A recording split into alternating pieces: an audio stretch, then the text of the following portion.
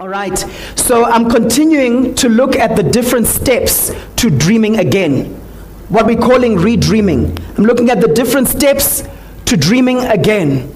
And I want to encourage you to have an open heart this morning because I believe that each person who is here today is here by appointment. No one is here by accident. Amen.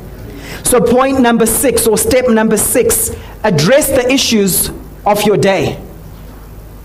You see, when you dream again, the dream that God gives you is supposed to solve a problem. The dream that God gives you is supposed to solve a problem. If you look at John 15, verse 8, it says, This is to my Father's glory that you bear much fruit, proving yourselves to be my disciples. So this shows me that my fruitfulness gives God's glory, God glory. If I'm not fruitful, God is not glorified. Giving God glory is not just saying, praise God, you know, and being super, super spiritual. You know, some people come in church and they think that they really glorify Jesus because of their narrative, because of their nomenclature, right? They come into church and they say a lot of nice spiritual things, but that doesn't give God glory.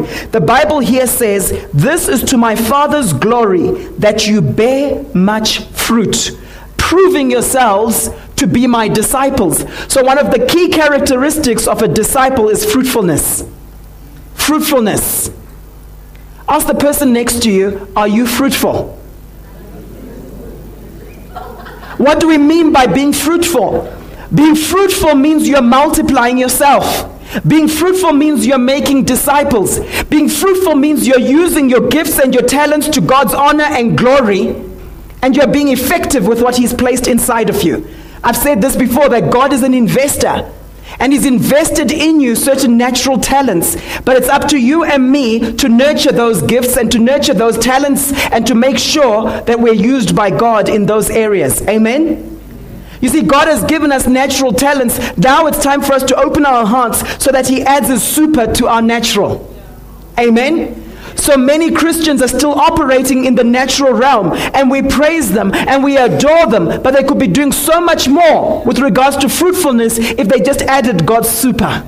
Very often, when I'm coaching, I work as an executive coach. For those who don't know, when I'm coaching executives, sometimes I sit there and I begin to say things to them that I didn't know in the natural. Now, there's stuff I know in the natural, but what brings results is where you can open your heart to God's Spirit and allow Him to say certain things through you. Sometimes when I'm coaching people, I sit down and literally afterwards I have to take notes on what I had said because I had never thought those concepts before. Are you hearing me this morning? Now that's in my field, but I believe that some of you who are designers, God is going to give you supernatural design, whether it's for websites, whether it's for film shows that you make.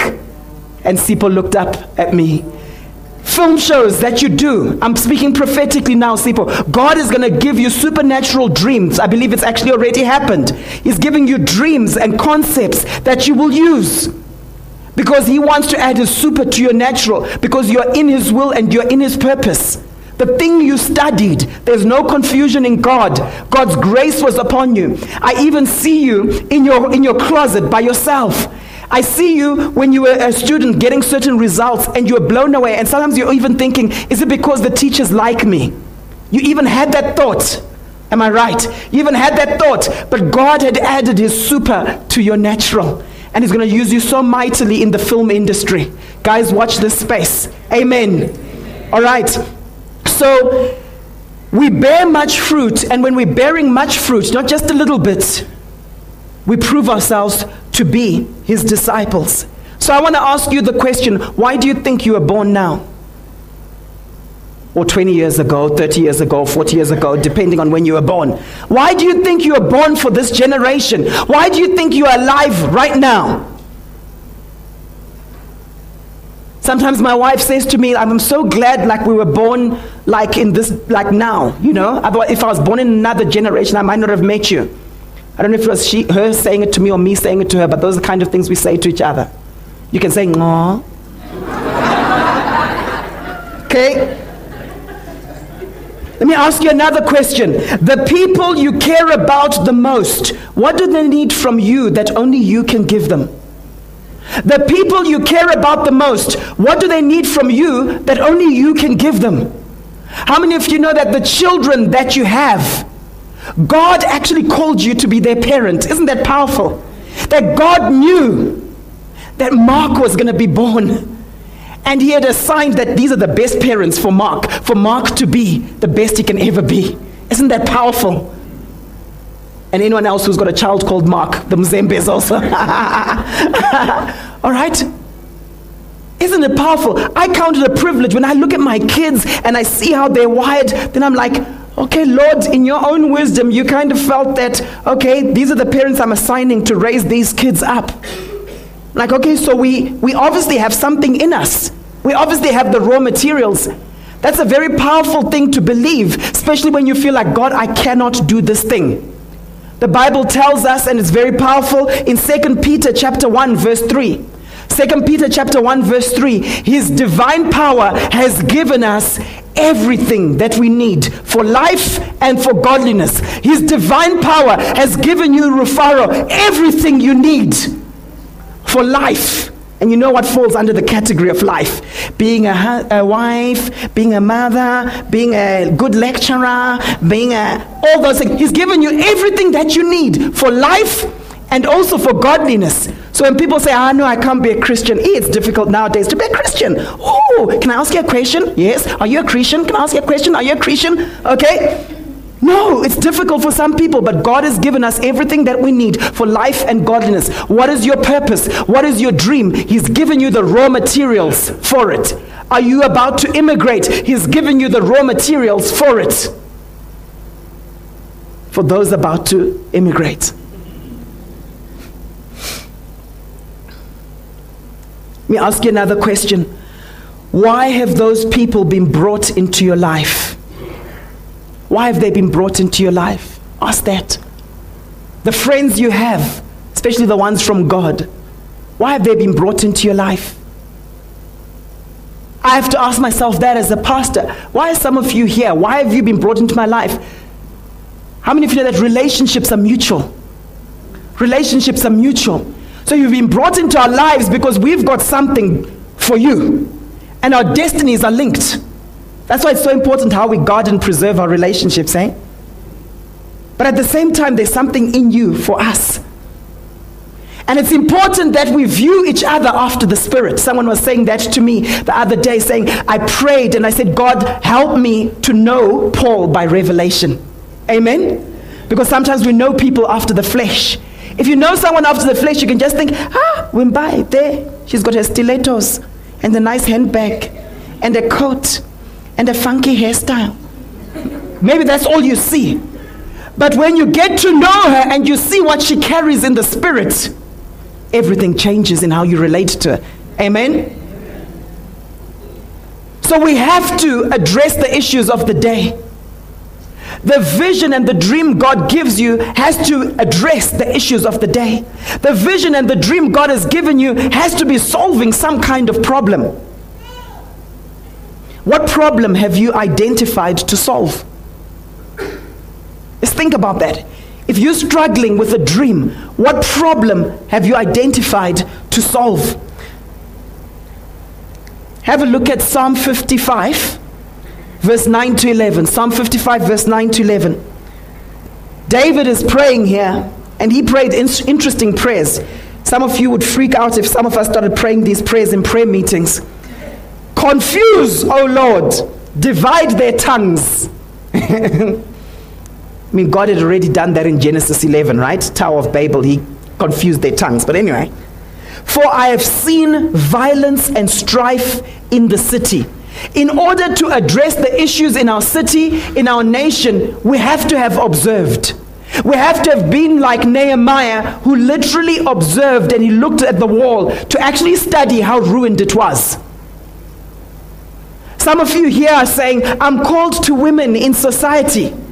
Have you observed the wall? Have you studied what's going on amongst women in society in order to have a dream that addresses the issues? He says, O Lord, divide their tongues, for I have seen violence and strife in the city. Day and night they go around her upon her walls, and iniquity and mischief are in her midst. How did he know this? He obviously had done his homework to look at the current reality. If God has called you to solve issues in your family, my question is do you know and understand what's in the midst of your family?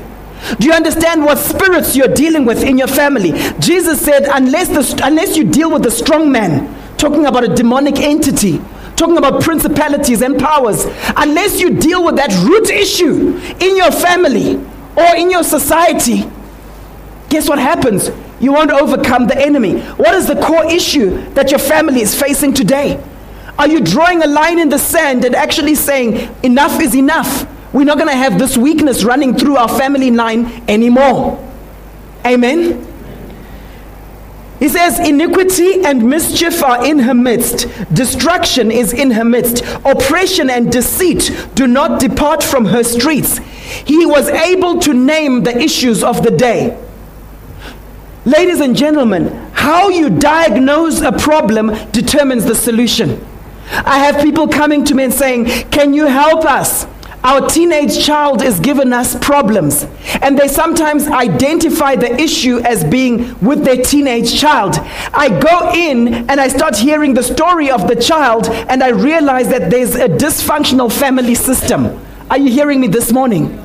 You see, if you diagnose the problem as being limited to one person in the family, then you'll address it with what, that one individual. But when you diagnose the problem as being a systemic issue, what happens? You diagnose it and then you solve it at that level. How many of you have lost loved ones in your lives because they were misdiagnosed? So they were being treated, yes, and the medicine was available, yes, but they were treating the wrong thing. I believe that very often what happens is we don't get breakthrough in our lives because we're praying the wrong prayers. We don't get breakthrough in our lives because we've misdiagnosed the situation.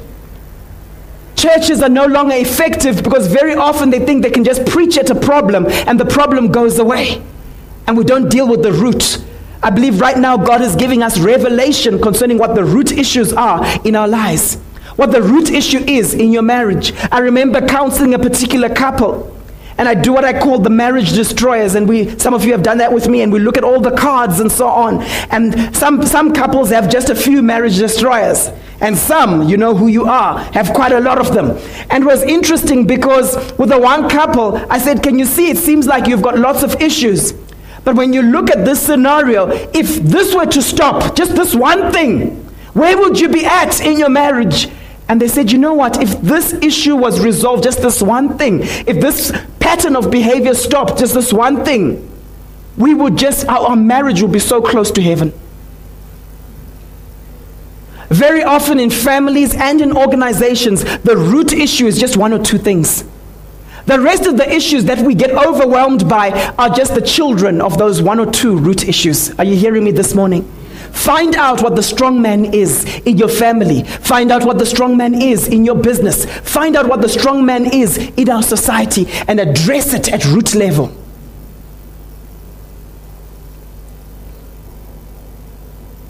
If you are called to women, you must know what the current reality is that women are facing in this nation right now. What are the major issues?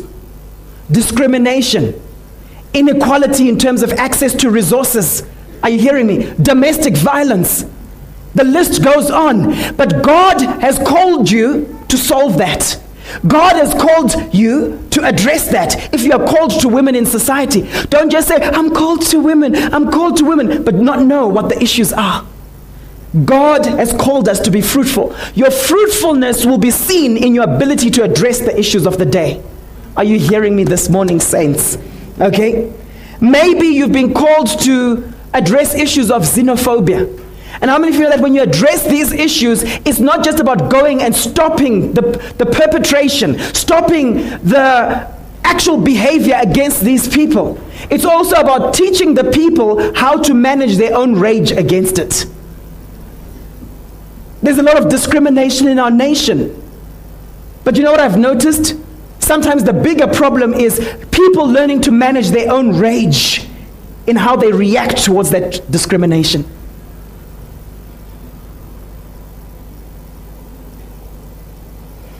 How many of you know that God anoints us to do?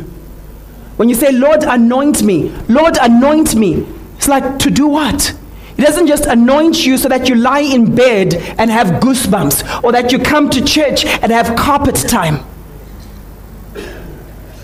Like, look, it's, it's fine when we fall under the power of God and we shake and God moves in our hearts, but that's the starting point. My interest is what happens when we get up? What happens when we get up? There must be a change. See, God anoints us to do. And what does He anoint us to do? He anoints us to solve issues, He anoints us to destroy stuff, and He anoints us to build. If you look at the prophet Jeremiah, what does he say? God calls them and He says, Go and uproot and tear down certain things. And then He also calls them to, He says, Go and build and plant. Here's the catch for many of us as Christians, when we think of our dream and we ponder concerning our dream in life and what God has called us to do, we just focus on the building. We just focus on what He's called us to build. But how many of you know that sometimes you have to destroy certain things before you can build up others? How many of you know that when God called Gideon, what was one of the first things that Gideon ended up doing? He went and he broke down the idols of his fathers, didn't he? The Asherah pole and all those things because there was godlessness there. In fact, they were mixing things. They were talking about their past in terms of, but God did this, God did that. Meanwhile, they were worshiping idols. One of the first things Gideon did before he could deal with his enemies physically in a physical war. What did he do? He went and he tore down the idols of his fathers. Some of you have focused on things to build and plant, and God is saying, first destroy certain things and there's an anointing for destruction. Are you following me? There's an anointing to destroy certain things. Some of you have taken over teams in the workplace, and God is saying, you know what, you need to uproot gossip first before you can build trust. Some of you in your families, you're trying to build an altar to God, saying, God, we want to worship you, God, we want to worship you. But there are things you have to address even with your extended family. Some of you, with your extended families, you make up excuses to avoid some of the rituals that they're doing in terms of their ancestral worship. And you just say, ah, no, not, not this time. Ah, no, we've got a school function. No, tell them that I'm a worshiper of Jesus Christ and that the Bible tells me that there is only one way to the Father, and that is through Jesus Christ, only one mediator. Tell them that's what you believe. Then they'll stop hounding you and bothering you. Are you hearing me? It's time we have some radical Christianity. Instead of this sort of, you know, flimsy, sheepish, ah, no, I'm, I'm, I'm busy.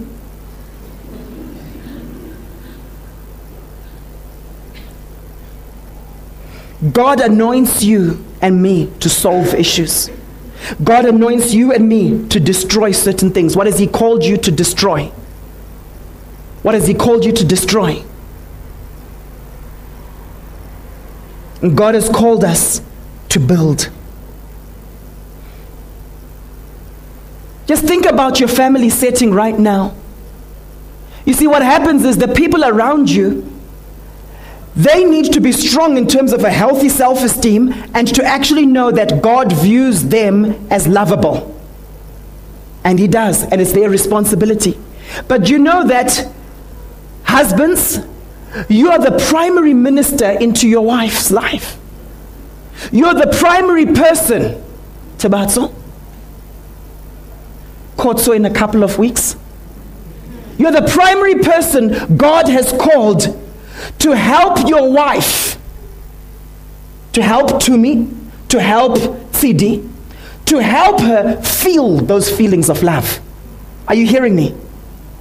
So they must know that God loves them, but He's made you the primary minister to reinforce the emotion.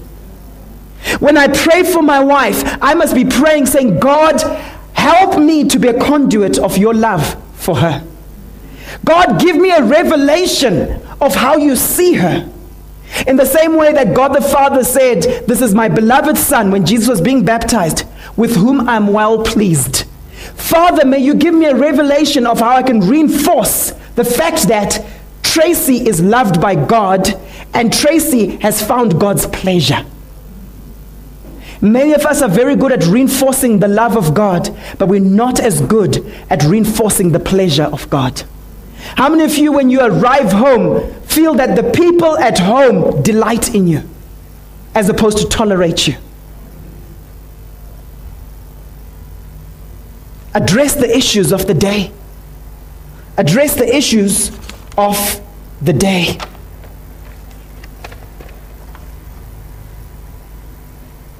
If you are called to rescue a nation, do you know from what you are rescuing it? By the way, when we use that word save, in the Greek it's the word sozo. And it literally speaks of salvation, not just spiritually, right? But it's salvation of the soul and also of the body. It's complete salvation. And when we talk about a nation being rescued by God, one of the words for save is actually literally to rescue someone that's drowning. And I believe that when salvation comes to this nation, to the people of this nation, it's figuratively speaking of rescuing the nation from disaster. What are we rescuing this nation from? What are we rescuing this nation from? You can, you can shout out. I know we don't usually do this in church. Go for it. Let's participate. Why not? Just shout it out. Clever, go church people. We're saving this nation from corruption. Hiron said that, not me. Poverty. Woo! From? Huh? From religion. From the spirit of religion. Yes.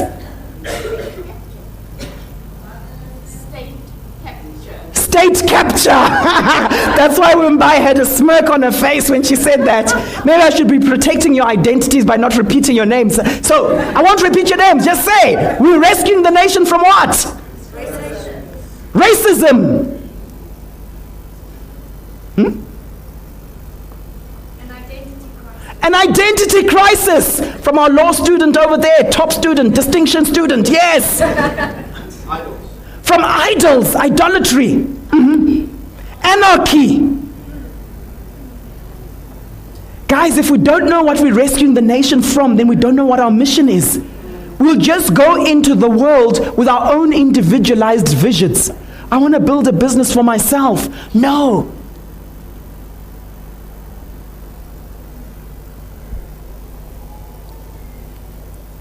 Step number seven dream into the future. Dream into the future. The dreams God has given us have to be relevant. They have to take us into the future. If you say to me, Paul, this is my dream, and you show it to me and it's in writing and it's got an action plan, I'm going to make comments concerning where the world is going. You see, we're the real futurists, aren't we? We're prophetic people. God shows us things to come. And it's important that the vision I have, the dream I have, is relevant, not for the 80s. The 80s have gone. Hello, ladies and gentlemen, the Wenwees. Who are the Wenwees here? You know, back in the day. Yeah, back in the day. No, that's happened. Now the vision God has given you and me is for not the past, but it's for where we're going. Now here's the thing. The Chinese, they think in centuries, don't they? I remember my sister-in-law, she used to be a professional golfer and she won the tournament in, in China. And I remember coming back at a certain point and she said, it's amazing how the, the Chinese think in centuries. You see this highway, but you don't see road, you don't see cars on it. Because they're thinking in a number of years' time, we're linking up these two cities and therefore we need a highway. Yet when I speak to people who live in the Fourways area where we used to live, what do they say? They say, traffic. Sorry, I'm late for my workshop. Traffic. Why? Why do they say that? Because there are a whole lot of new townhouses that have been built and built and built, but the road system hasn't changed. Hello? Why? Because we're not planning for the future. How many of you know that the, the Chinese, they think in centuries? On the African continent, if you look and you do a study, you'll see that our approach to life, it's like sitting on the how train. You know what I'm saying? The how train is going that way, but you're sitting looking back that way. We focus so much on the past and present. No, but we did this, and because we did this, we're entitled to this. And we have debates about the past. Now, there's a place for the past, there's our heritage, there are all sorts of good things in the past. But hello, God wants us to be visionaries. We are the futurists, we're a prophetic people. Do you know the Chinese, the way they think, and this is one of the reasons they're taking over a whole lot of the world right now. What they do is they pause and they say, you know what, in 80 years' time, we're going to need to do A, B, C, D. So we need some people with the following trades this trade, this trade, and this trade. So we're going to start some academies, some trade schools, so that our little kids right now at five can specialize and start learning the following trades because we're going to need that in this country in the next few years. If you want to lead people, one of the biggest things people look for in leaders and this is based on research, is a long range view of things. A multi generational vision. Because everyone out there who isn't leading, they're taking it one day at a time. But they're looking for people with a clear vision. They're looking for people with a clear dream. They're looking for people who will say, you know what, guys, in the next five years, this is what I see happening. I can see around the corner. So let's start building this way. And you become the leader who doesn't just see opportunities, you seize opportunities.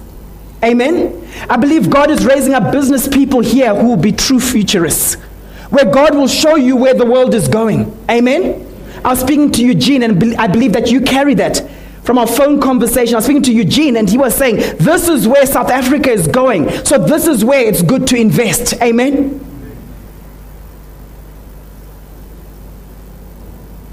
What is God showing you concerning the future? Align your dream with where the world is going. We are the true futurists. One of the problems with the education system in this country, and I'm not saying all schools, but a lot of schools, is that people are learning things that are relevant for the 80s. I don't know why I'm not saying the 90s. 80s is just sounds older. Right? You know, it's 80s music, 80s. Although those of us who grew up in the 80s, we like 80s music, don't we? If you like 80s music, say amen. Okay. Okay, but it's just the music, not necessarily the fashion and other stuff. Okay, just the music. Okay?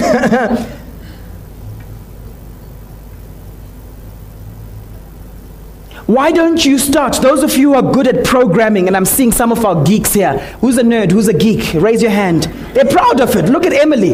Look at Theo. They're proud of it. Look at Ishe. They're proud of it. It used to be a diss when I was growing up, you know, and say, oh, that nerd. Now it's like Nerds United. They're probably a soccer team which will come up. Do you play for NU? Did you say Man U? No, NU. NU. Nerds United. You see them there with their glasses.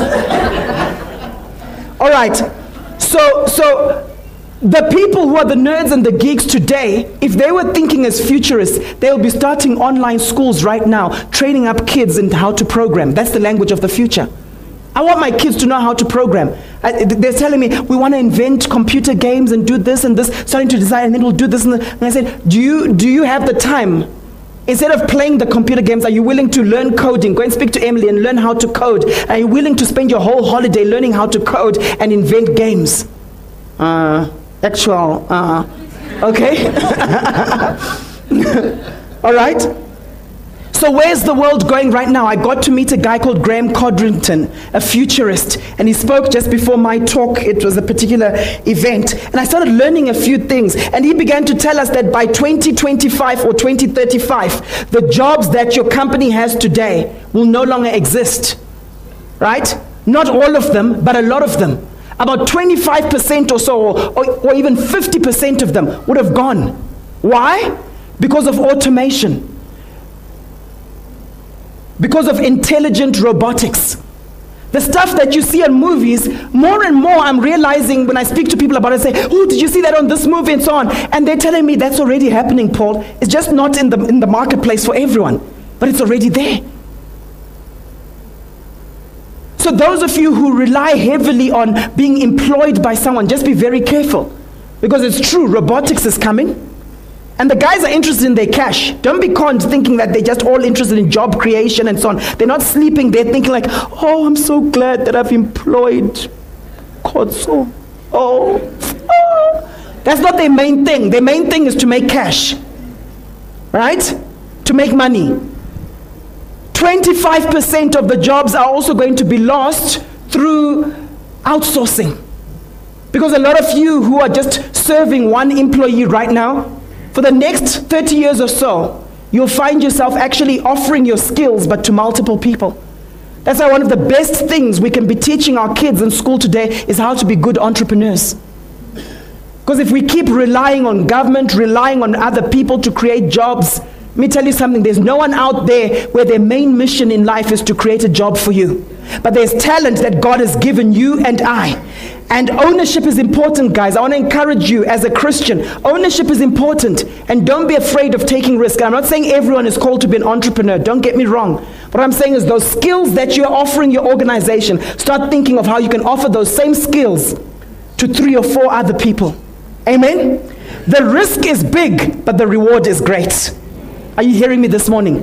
The risk is big, but you know how you spell faith? R I S K. Seriously. All right? So a lot of people are going to be working part time. How many of you know that if you've got audio, I've been thinking myself, all the audio material I've got, and it's lots, I need to convert into video and into something that's mobile friendly. That's where the world is going. All the IT guys will say, Amen, Amen. They know that. You know that by the year 2025, we will have super computers in our pockets. We'll be walking around with super computers in our pockets. You'll be looking at your S7 that you're so proud of. You'll be looking at it and you'll be thinking, this thing is archaic. What were we thinking? Amen? The world is going mobile. Wi Fi is becoming a human right. Is my human right? Where's the Wi Fi? That's why when people come from overseas where it's more advanced, what happens? They'll just come to house, they assume it's a free for all for everyone. And then you have to say, hey, my data, my data. because where they come from, it's advanced there, it's for everyone, free Wi Fi. That's what's happening right now. Elon, our own Elon Musk, right, speaking to Google, speaking to all these guys Uh, about what? They want to have the whole world be a blanket of Wi Fi, free Wi Fi. And guess what? Even with fancy computers, everyone is going to be able to play. The Chinese are coming out with smartphones that only cost 500 Rand. Not 500 Rand per month until you die. 500 Rand once off. Amen? So everyone will be able to play. In terms of education, how many of you are familiar with MOOCs? MOOCs. Okay? Massive open online courses from the top universities in the world Stanford, Harvard. They're offering some of their courses free to multiple numbers of people online.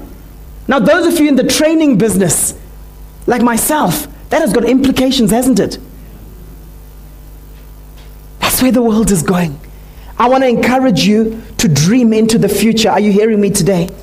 And you might say, but Paul, I'm not a geek. I'm not a nerd. Paul, I'm not clued up on technology stuff. How many of you know that it's about collaboration? God has called us to be interdependent. Whatever your dream is, God will give you the man with the picture. Remember, we've spoken about that before. He will give you people, He'll place them around you strategically to help you get there. Amen? Finally, number eight, step number eight Make your vision clear and vivid. Whatever vision God has given you, make it clear and vivid. Habakkuk or Habakkuk, chapter 2, verse 2. Then the Lord replied, Write down the revelation and make it plain on tablets so that a herald may run with it. What does it mean? Make your vision plain. Make your dream plain. Make it clear. If you want to rise as a leader, have you noticed that the person who's the most clear is the one with the influence? Even if they're clearly wrong. If you've got a room full of people, the person with clarity is the one who becomes the go to person. Have you noticed that? People are longing for clarity. They just want clarity. If it's misty in your head, it'll be foggy in the minds of the people listening to you. God has called us to be clear. How clear is your vision right now? It says, write it down and make it plain. How clear is your vision right now? Are you saying, Yes, I want a husband? In a couple of weeks, we've got three weddings in the church, eh? In the space of one week, there'll be three weddings. Amen. Amen. Okay. This is the place to be if you want to get married. Mbai is saying, yeah, right.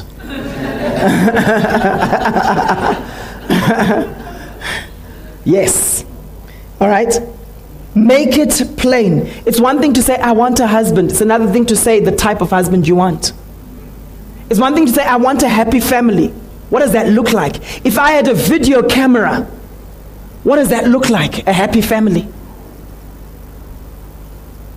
I want to encourage you to develop a mission statement, and I want to just do this in a moment to show you an example of a mission statement for your family. I want to encourage you to develop a mission statement for your business, but also for your family. Are you ready for that? Here are some powerful principles that you can use. I just wrote out 10 keys that you can use in developing a family mission statement. You see, when your vision is clear, when your vision is vivid, it's more likely to take place. Have you noticed how athletes operate? They visualize themselves doing the particular thing beforehand. They get themselves to that emotional state that they want to be in when they're going to win. Have a vision.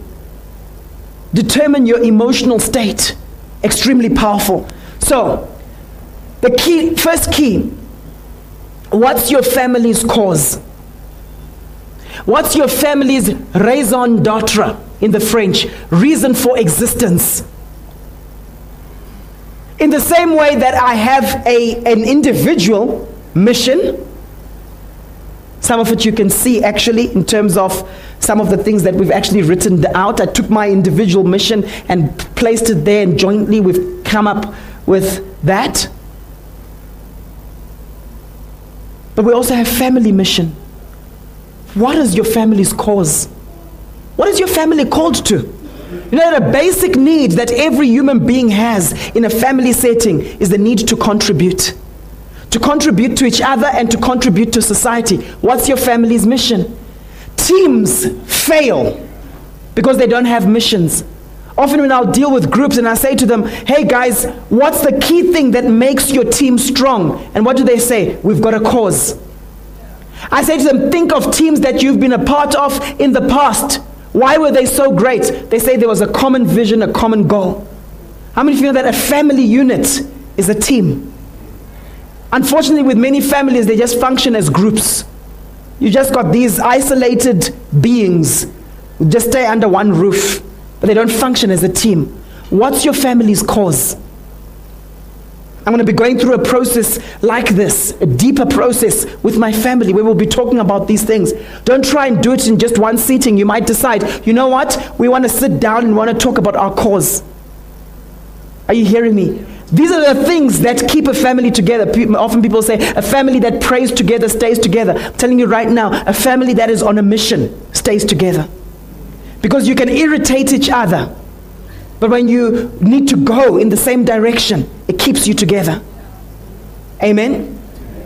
Number two, what's the family's vision? A vision is a picture of a preferred future. What are you seeing yourself doing together? What will the papers in five years' time be saying about you and your household? What will they be saying? Oh, mom and dad are like this. Oh, the kiddies are like that. Oh, daddy Sean is like this. Mommy Sunera is like that. Now Sean Anderson feels left out. Okay, daddy Sean is like this. Mommy Kathy is like that. Number three, what are the non negotiable values in our family? That's very powerful, isn't it? Maybe it's mutual respect. We respect each other in this family. Well, what does that look like? What are the behaviors associated with mutual respect? Can you see? You have to break it down. If you say to me, We're a respectful family, Pastor, I'll say, Okay, if I had a video, CCTV, there, camera, what does respect look like? For some people, it looks like pitching up on time, respecting time. For other people, it's never raising your voice. So when you come up with this, it's important to literally unpack what it looks like at a behavioral level. Amen? This is how you make your mission clear. This is how you make it vivid. It must paint a picture. And some of you are thinking, but Paul, I haven't got a family yet. See, that's our problem. People have this 20 year plan for this wonderful business idea. And they say, I'll only develop a family mission statement when my family starts. No. Even if you're a single individual, single as in not one, but single as in not married yet, What's your mission statement? What type of family do you want? Because when you've determined that and it's very clear, it will also paint a picture of the type of husband you'll have or wife. Don't settle for second best. Amen? Non negotiable values. Number four, the climate. What's the climate of our home? What's the sound of our home? Where you sit down and you begin a process, we call it visioneering, where you're saying, we can just hear laughter. Our household is full of laughter. Sometimes my wife comes to me when I'm packing out laughing because my kids are making me laugh. She says, I love it when you're laughing with the kids, when you're packing out laughing. You know, there's laughing as in, where you just want to encourage your kids. They've cracked a joke, but it's not that funny, and you're like, right? Then there's laughing when it's, when it's coming from here, from your belly. Okay? There'll be sounds of laughter in our household. There'll be lots of grace, lots of forgiveness. That's the climate you want in your home. When you're talking about the climate of your home, you can even talk about some of your attributes. We're generous. There's an atmosphere of generosity. The language is upbuilding. You're bringing that forth. What do we talk about? What do we do? What type of meals do we have? That's the climate of your home. There's an atmosphere of flexibility. It's not a rigid environment. There's an atmosphere where we suspend judgment. We're not quick to criticize. What does it look like? If you could play a video of your family life, what's the ideal family life that you want? That's dreaming for the households that you want. Number five, rituals. What are the rituals in your household? We celebrate birthdays. And a birthday celebration doesn't have to be expensive. Why is it important to celebrate birthdays? It's the only day people are celebrated just for existing, hey? Just for being around. Hey, Aaron, you're still here. Cool. We celebrate you, Dad. Whether we've liked what you did last week or whatever, we just have to acknowledge it. Right? Some of the rituals. What are some of the other rituals? We have devotions. So one of our rituals is I go, I'll pray with the kids. Right? And then they'll say, Don't forget, Dad, can you call mom up to tuck us in, please? I'll pray for them just before they've gone to bed. And I kind of think they're tucked in, job done. Dad, don't forget to call mom. but it's become a ritual. My love, kids are ready for you. It's a ritual. And then she goes in and then she tucks them in. And if she's away or she's doing something at church, when I try to tuck them in, saying, No, dad, this is how mom does it. See, she puts this pillow here, it's this. But that gives children a sense of security. And when the routine breaks and when the ritual breaks, they start feeling insecure. How many of you know that you can intentionally create certain rituals? What are the rituals you want to have in your family? How many of you know that we become successful not based on our wishes, but based on our rituals and habits and routine? See, very often we judge ourselves based on the peaks in our life instead of our lifestyle. Our lifestyle is formed through the rituals that we have. Amen? The things we do on a regular basis. What rituals do you want to have? Maybe it's saying grace when you're about to eat. Not a rushed grace, not an unthought through grace, but you're actually giving thanks. Amen? Number six, celebrations. As you craft your family mission statement, you need to state this is what we celebrate.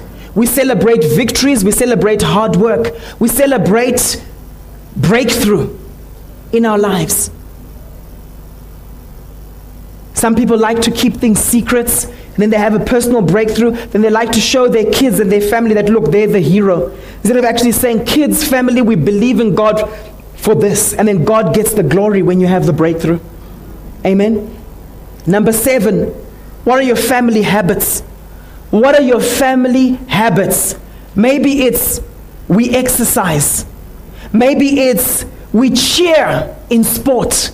Sometimes we go and we ha- we're watching one of the kids doing their sport, and the other one is busy playing with his friends and so on. Then we say, Are you going to watch Sammy do his high jump or do his long jump? Come on, he'll watch you when you're doing your soccer or your other thing. Are you going to cheer him on? Come, let's go down and let's cheer him on. That's what we do in this family. Those are the habits that you might want to have. Maybe for some of you, it's habits around chores. That when you're eating supper together, those of you who eat, and I encourage you to do so, to eat supper together, where people don't just leave while other people are still eating because they want to quickly watch a movie or something. No. But they excuse themselves. Thank you for the meal. Excuse me. Can you excuse me from the table, please? And they only leave when they're excused. Amen? And they wait for the slower eaters. I'm one of the slowest eaters I know. and it's not because I talk a lot. Even when I'm fairly quiet, you know, I chew. It's healthier. But it's interesting. It's important that we have family habits. Are you hearing me? What are your habits? What are the habits you want to instill in your family? Maybe it's around cleanliness, that we brush teeth, not just during school days.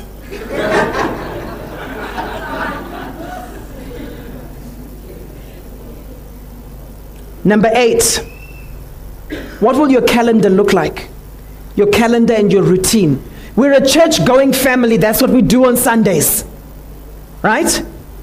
Maybe that's on your calendar. This is a calendar item, it's a standing agenda. Right? This is what we do. This is how our week looks, and everything else revolves around that. Maybe it's to do with holidays. Maybe you have one annual holiday or two annual holidays as a family. This is part of your mission. Are you hearing me? Number nine, what are your no nos? In other words, things that we don't do in this family. There's no physical violence unless we are wrestling with dad or playing with each other. But even then, there are rules around that. Okay? Boys don't speak to girls in a certain way. Boys don't speak off girls in a certain way. Boys don't use certain terms for girls, even if they've heard other people doing so. In this family, we don't do that. We don't use foul language. Right? What are the no nos? Let me tell you something. Your children will do what they see you do, not what they hear you say. Yeah? I was telling my kids the other day, we were in the car, and I said, Don't you guys like catch up with each other and say, Jaden, how was your day? Samuel, how was your day? Don't you like do that? They say, No, we just start talking about how the day was. But they asked me an interesting question said, Dad, when you were growing up, did you do that? so long ago, I don't really remember. the thing is, they're interested in what you do and what you did. They're not interested in what you have to preach to them. Culture is not created just by what we teach, culture is created by what we model. So, what are the no nos in your family? What are the things that are considered great sins in your family? And then, number 10, what are the unique talents and potential that your family has? That you know what, as a family, we are good at this. You know what, as a family, we're so good at this, we can actually bless the nation with the following things. There's some things that are so normal for you and your family because you're used to it. But other families come to you and they say, Wow, you guys are amazing at this. What is it that you have? The tribes of Israel had strengths. If you looked at the tribe of Benjamin, they had specific tr- strengths. If you look at the Levites, they had specific strengths. When God calls a family, He endows the family with certain gifts and unique talents. And very often you see that, whoa, this is something. It's passed on from mom, and now the kids also have it. What is it in your family? Or what do you want it to be? Amen? I'm going to give you an example of a family mission statement. I'm going to go through it quickly. I think it's so powerful. We are compassionate and kind. We're committed to family. We love, create, and protect family time, both one on one and everyone together. We will be caring in our relationships with our family and friends. We want to be role models for our children. We will encourage creative expression in each other. Can you see there's already a gift there and they're encouraging it? We will lovingly support each other as we strive to reach our individual potentials. We will grow old and wise together. Right? We will show consistent, appropriate, loving affection. That's the climate of the family. We're a hugging family. Even if sometimes you have to force certain people to hug. My wife sometimes forces the kids, forces hugs on them. They're like, Whoa! and she wrestles them down. Okay?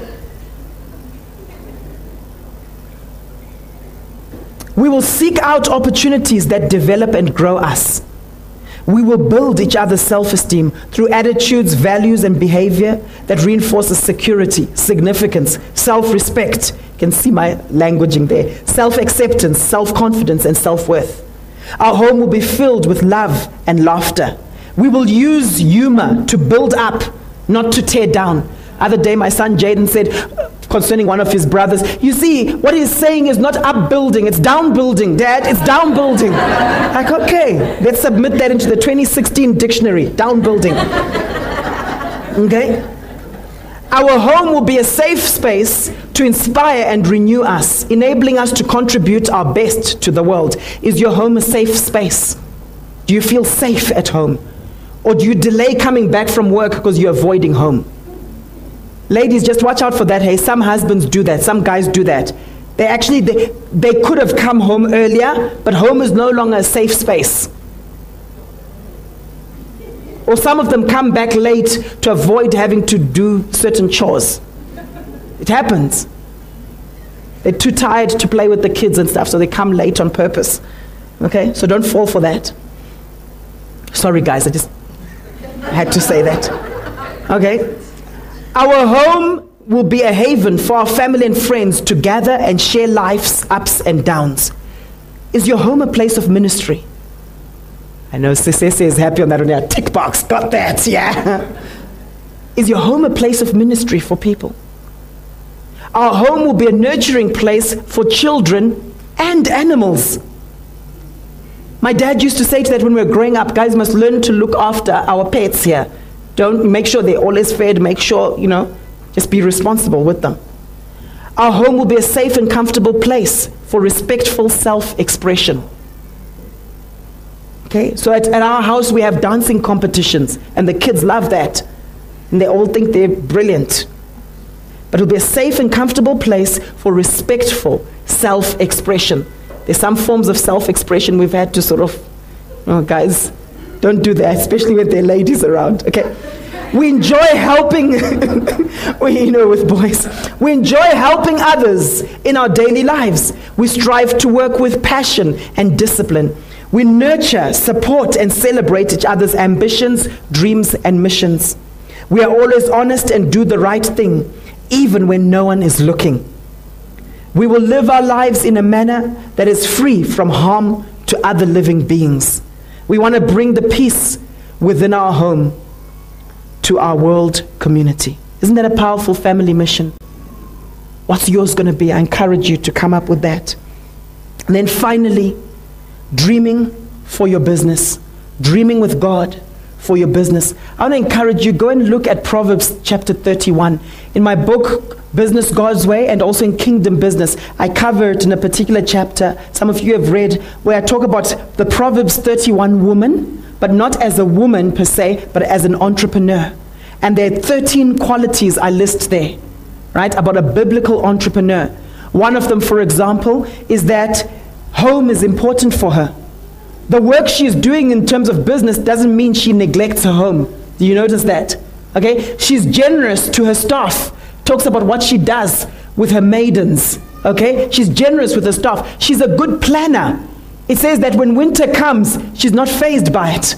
Okay? Those are principles of biblical entrepreneurship that you see there. And it's amazing because she's still admired by her family. It says that she's praised at the city gates and honored by her husband. My question to you is the dream you have for your business, is it taking you away from being a good father, good mother, good family person potentially for those who are single? Ask yourself that question. So, how can we dream with God for our business? By answering the following questions, and you'll get the notes, we'll post them up on the website. But just close your eyes and just begin to dream with God right now. What problems need a solution? Just think about that. What problems in our nation right now need a solution? There's a business idea there. There's a business idea there. If I start a business with toothpaste, what problem am I addressing? People always say, yeah, tooth decay. Thank you so much, Jimmy. A lot of times people say, bad breath. Okay? Plaque. What frustrates people in this city? If you look at the frustrations that people have in this city, I can tell you right now there's a business idea there. What is abundant in some parts of the country but not in others? Can you bring it here? I bought from a guy from Venda, uh, one of my clients, I bought some lovely avocado pears. How many of you have tasted avocado avos from Venda? Raise your hand up. Right? And sweet potatoes from Venda. Uh, raise your hand if you've tasted. Okay? Now, people who are from there who've got access to farming there and so on, that's an example. What's in abundance in other areas that people here like, will bring it over. Okay? What is about what products can I combine for ease of use? Remember back in the day? Back in the day when you went on holiday, you'd have your video camera, you'd have your telephone, those big brick cell phones, okay? You would have your still camera, right? You would have all sorts of things, your calculator. But what, did, what happened here? Combined. How many of you know there are a lot of business opportunities when you combine things? Just be open to receive from heaven. I've done this before, and people come out with all sorts of ideas, hey? Straight afterwards, like God literally pitches up and gives them business ideas. Dreaming with God. What is rare in this country, but many people need it? Some of you are from other countries, countries that have abundance when it comes to natural resources.